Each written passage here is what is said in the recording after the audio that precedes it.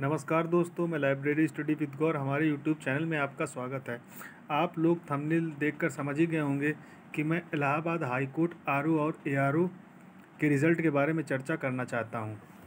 Are और ए का exam 10 दिसंबर से लेकर 20 दिसंबर के बीच में संपन्न हुआ था और इसका अप्लीकेशन जो स्टार्ट हुआ था 17 अगस्त से हुआ था इलाहाबाद हाई कोर्ट आर और ए में आर की वैकेंसी छियालीस और ए की वैकेंसी 350 पदों के लिए विज्ञापन निकाला गया था।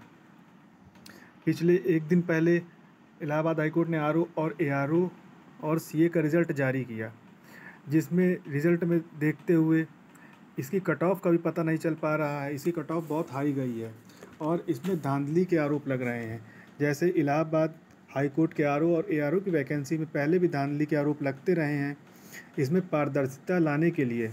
इस बार इस वैकेंसी का टेंडर एनटीए को दिया गया था। मगर इसमें पारदर्शिता क्या?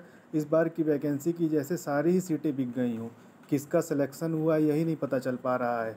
इसमें बहुत से लोग ऐसे सिलेक्ट हो गए हैं जिनके पेट में 16 से 20 नंबर के बीच हैं और इसमें Allahabad high court R O A R O में एक सौ बानवे, एक सौ तिरानवे, दो सौ रिटर्न एग्ज़ाम में है।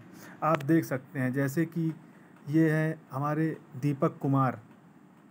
इनके रिटर्न में एक सौ बानवे नंबर और टाइपिंग में सैंतालीस नंबर हैं। टोटल इनके नंबर दो सौ उनतालीस हैं और इनके अभी कुछ महीने पहले जो पेट का एग्ज़ाम हुआ था, उसमें इनके चौदह नंबर आए थे। पता नहीं इन्होंने चार महीने में इतना बड़ा क्या कमाल कर दिया कि एक सौ बानवे नंबर लाने में सफल हो गए। खैर, ये अकेले ही नहीं हैं, ऐसे बहुत से लोग हैं। आप ये देख सकते हैं मनोज कुमार यादव। इनके पेट में जो सोलह नंबर आए थे और इनके आर ओ एग्ज़ाम में रिटर्न में 200 में से एक सौ चौरानवे नंबर लाए गए। तो इससे स्पष्ट होता है कि इसमें बहुत बड़े स्तर पर धांधली हुई है।